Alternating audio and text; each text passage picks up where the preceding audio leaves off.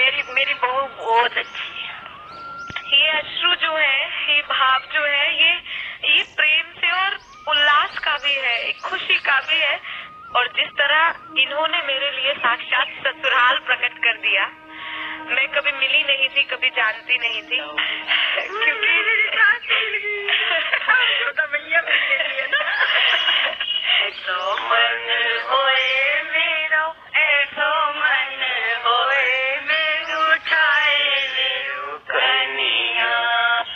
राधे राधे, मैं हूँ सौरभ। हमने आपको मिलवाया था भगवान श्री कृष्ण से शादी करने वाली एक भक्त से।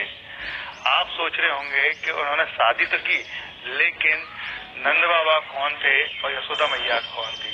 आइए मिलवाते हैं। ये पूरा परिवार है, जिन्होंने भगवान श्री कृष्ण को अपना बेटा माना और उसी जो रीति रिवाज होती है वो निभाई और उनके लिए एक बहू ढूंढी। ये उनकी बहू है। और शादी में पूरी रस्म निभाई।